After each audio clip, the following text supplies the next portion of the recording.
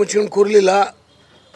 ಅವ್ರ ಮೇಲೆ ಆ್ಯಕ್ಷನ್ ಆಗ್ತದೆ. ನಾನು ಕೂಡ ಹೇಳಿದ್ದೀನಿ ಯಾರು ಬೀದಿ ಮೇಲೆ ಸಾಮಾನ್ಯ ಜನ ಮಾತಾಡೋದಿಲ್ಲ. ಆ ರೀತಿ ಭಾಳ ಕೆಟ್ಟದಾಗಿ ವರ್ತನೆ ಮಾಡ್ತಾ ಇದ್ದಾರೆ ಅವರಿಬ್ಬರು ಅವ್ರ ಪರ್ಸನಲ್ ವಿಷಯ ಅವ್ರು ಏನಾದ್ರು ಮಾಡ್ಕೊಳ್ಳಿ ಆದರೆ ಮೀಡಿಯಾದಕ್ಕೆ ಬಂದು ಈ ಲೆವೆಲಲ್ಲಿ ಮಾತಾಡಿದ್ರೆ, ಒಬ್ಬ I P S I A S ಅಧಿಕಾರಿಗಳು ಅಂತ ಹೇಳಿದ್ರೆ ಭಾಳ ಭಾಳ ಏನು ದೇವಮಾನವರು ಅನ್ನೋಂಥ ಹೇಳೋ ರೀತಿಯಲ್ಲಿ ನಮ್ಮ ಸಾಮಾನ್ಯ ಜನ ನೋಡ್ತಾ ಇದ್ದಾರೆ.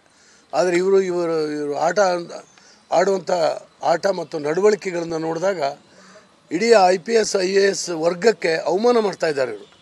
ನಮ್ಮಲ್ಲಿ ತುಂಬ ದೊಡ್ಡ ದೊಡ್ಡ ಒಳ್ಳೆಯ ಅಧಿಕಾರಿಗಳಿದ್ದಾರೆ. ರಾಜ್ಯ, ರಾಷ್ಟ್ರ ನಡೆಸೋರು ಅವರೇ ಯಾರೋ ಕೆಲವರು ಈ ರೀತಿಯ ಭಾವನೆಯನ್ನು ನಿರ್ಮಾಣ ಮಾಡ್ತಾ ಇದ್ದಾರೆ. ಇವರಿಗೆ ಶಿಕ್ಷೆ ಆಗಬೇಕು. ನಾನು ಈಗಾಗಲೇ ಡಿ ಜಿ ಅವ್ರ ಹತ್ರ ಮಾತಾಡಿದ್ದೀನಿ. ಸಿ ಎಸ್ ಹತ್ರನೂ ಕೂಡ ಮಾತಾಡ್ತಾ ಇದ್ದೀನಿ. ಮಾನ್ಯ ಮುಖ್ಯಮಂತ್ರಿಗಳು ಕೂಡ ಇದ್ರ ಬಗ್ಗೆ ಚಿಂತನೆಯನ್ನು ಹೊಂದಿದ್ದಾರೆ. ಫ್ರೀಡಮ್ ಆಪ್ ಅಲ್ಲಿ ಕಲ್ತು ಸೋಪ್ ತಯಾರಿ ಮಾಡ್ತಿದ್ದೀರಾ?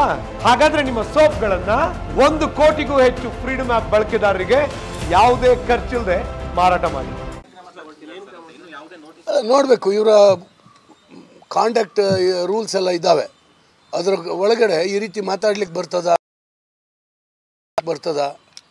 ಅಂತೇಳಿ ಹೇಳಿ ಅದನ್ನ ನೋಡಬೇಕು. ಮತ್ತು ಇವರಿಬ್ಬರ ಮೇಲೆ ಈಗ ಈಗ ಮಾತ್ರ ಅಲ್ಲ ಅನೇಕದಿದ್ದಾವೆ ಇವರಿಗೆ ವಾರ್ನ್ ಮಾಡಿದರು ಹಿಂದೆಲ್ಲ. ಆದರೆ ಇವ್ರದ್ದು ಏನು ನಿಲ್ಲೋದಿಲ್ಲ ಅಂತೇಳಿ ಆದರೆ ಮತ್ತೆ ಯೋಚನೆ ಮಾಡುತ್ತೆ ಸರ್ಕಾರ. ಹಾಂ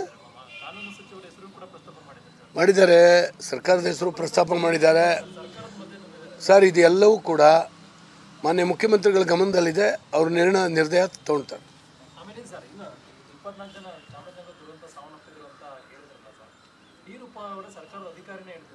ಸರ್ಕಾರ ಇಲ್ಲ ಅಂತ ಹೇಳ್ತಾರೆ ಆ ಅಷ್ಟು ಸತ್ತಿಲ್ಲ ಮೂರು ಜನ ಬೇರೆ ಕಾರಣದಿಂದ ಸತ್ರು ಅಂತ.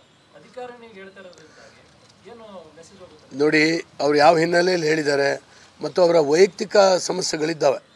ನನಗೆ ನಾನು ತಿಳಿದ ಮಟ್ಟಿಗೆ ಆ ವೈಯಕ್ತಿಕ ಸಮಸ್ಯೆಗಳ ಹಿನ್ನೆಲೆಯಲ್ಲಿ ಏನೇನೋ ಮಾತಾಡ್ಕೊಳ್ತಾ ಇದ್ದಾರೆ. ಇದು ನಿಜವಾಗ್ಲೂ ಕೂಡ ಖಂಡನೀಯ.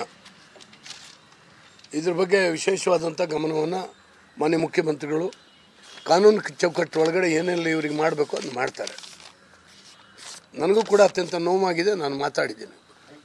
ಫ್ರೀಡಮ್ ಆಪ್ ಅಲ್ಲಿ ಕಲ್ತು, ಸೋಪ್ ತಯಾರಿ ಮಾಡ್ತಿದ್ದೀರಾ? ಹಾಗಾದ್ರೆ ನಿಮ್ಮ ಸೋಪ್ಗಳನ್ನ ಒಂದು ಕೋಟಿಗೂ ಹೆಚ್ಚು ಫ್ರೀಡಮ್ ಆಪ್ ಬಳಕೆದಾರರಿಗೆ ಯಾವುದೇ ಖರ್ಚಿಲ್ಲದೆ ಮಾರಾಟ ಮಾಡಿ.